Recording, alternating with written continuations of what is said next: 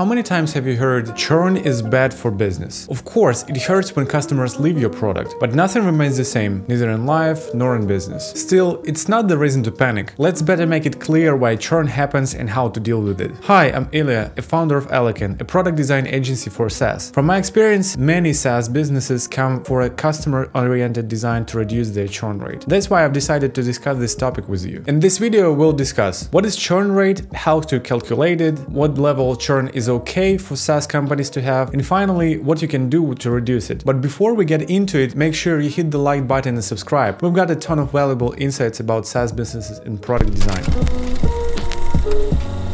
Now, let's start with the definition. In essence, the SaaS churn definition is pretty simple. It means the percentage of customers who left their product over a certain period. Customer churn rate is a crucial indicator if your SaaS business faces problems that can negatively affect its growth. Churn rate directly influences financial metrics such as recurring revenue, customer acquisition costs, and lifetime value. Let's see how these metrics are connected. The first one is monthly recurring revenue. When customers leave, they take your income with them. Every SaaS company needs to have a stable and and predictable cash flow for consistent business growth, which is why this metric is very important. Next is customer acquisition cost. If customers churn before you get back expenses spent on their acquisition, the outcome will be huge losses in the long run. By the way, I've talked about the customer acquisition cost in another video, make sure you check it out. Link is down in the description too. And finally, customer lifetime value. The longer a user stays with your product, the more money they can bring. Simple customer churn impacts lifetime value as it naturally decreases possible revenue that the company could have earned. So it's clear that churn influences your business growth. But why do customers leave? Some possible reasons for that are users had different expectations from your product, your product doesn't have features or services they need, you bring wrong customers on board, you've got poor onboarding and support, price offering doesn't fit the customer's budget, or your product has critical bugs you fail to fix. In some cases, it can be that everything is okay with your product, but the value is not visible. As a consequence, customers don't understand why they should pay for it and leave. Okay, now it's time to move to calculation. The simplest way to calculate the churn rate is divide the number of churned users by the total number of users. In this formula, the number of churned users means how many people left your service within a certain period, and the total number of users stands for all customers you had during this period. At first glance, this may seem easy as ABC. In reality though, you need to consider many nuances so that your calculations show a real picture. Firstly, you need to define what you will take at the moment of your churn. It can be either the moment a customer doesn't renew the subscription or the moment they cancelled it. In this case, there is always a chance to get customers back before their subscription ends. Also, before the calculation starts, it will be useful to decide exact time frames, a month, a quarter, or a year. Sample size, so-called cohort, it defines how representative and predictive the results will be. And customer segment, low tier and high tier plan segments may have different churn numbers. Let's say you did everything well, and now you're looking at the final churn rate number with a few questions on your mind. What on earth does this percentage mean? Is it low, high, or normal? And what is the good churn rate for SaaS? Keep calm, I'm about to talk about it. Though there are lots of opinions about the average churn rate for SaaS companies, most experts support the idea of 5 to 7% range annually at the benchmark. I'll explain a bit later why I stress the word annually, just know that it's important. While you can take this range as a reference, the churn rate norm depends much on a company's revenue growth. Here is a graph to see how the churn rate and the revenue increase relate.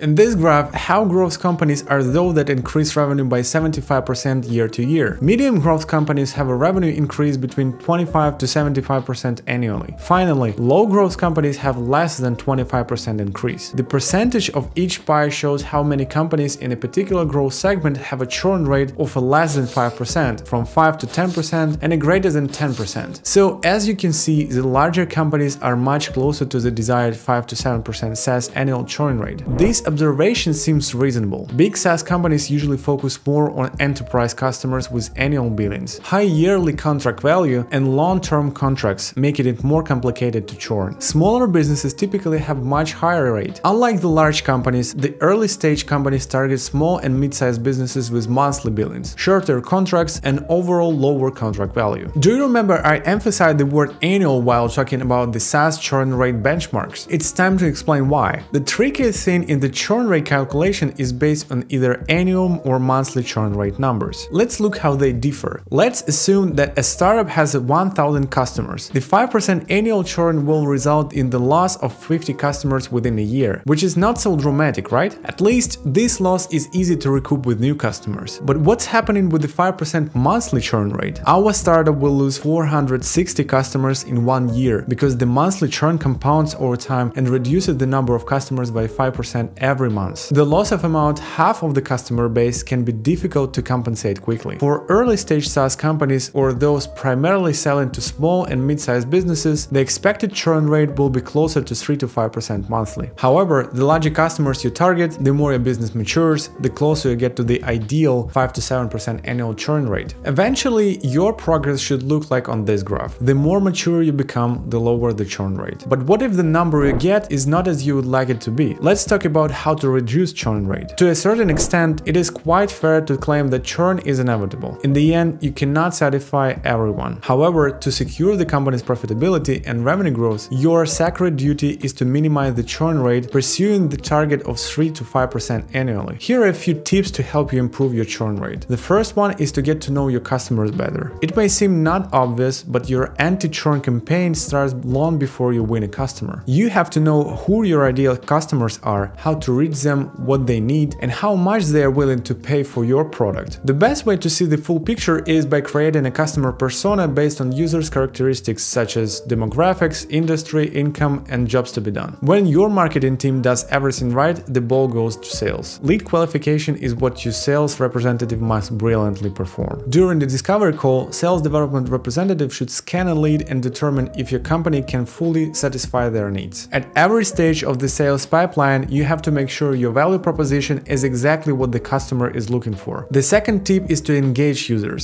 Starting from a free trial over the first six months, you should track customer engagement and make sure your product meets the customer expectations. It's up to you whether you will build your in-house system to monitor and manage the engagement or leverage a third-party tool. The main goal is to help users to engage with your SaaS product by constant communication, active listening, feedback gathering, and working on UX improvement. And my last recommendation is to get feedback from users. Customer feedback is the primary source of valuable information. Sometimes it's not easy to get honest response from a churned customer, but it is worth trying. Assign your best sales reps to contact those who left and get their feedbacks through specific questions. You can also gather responses via inbuilt customer surveys to later turn them into an actionable insights. Okay, let's summarize. Churn is inevitable, but you can control and improve it. An average churn rate benchmark is 5 to 7% annually. If you're a mature SaaS company, you can expect around 5% monthly churn if your business is young and if you target small to mid-sized businesses. Poor customer service, inefficient lead qualification, and bad user experience are among the reasons why clients churn. Customer satisfaction based on monitoring. A well-conducted analysis will help you reduce your churn rate. And from my experience of leading a UX design agency for SaaS products, I'm more than sure that customer-oriented design and great user experience can help you reduce churn rate. That's all for today. Thank you so much for watching. I hope it was useful. Don't forget to hit the like button and subscribe, and I'll see you in the next videos.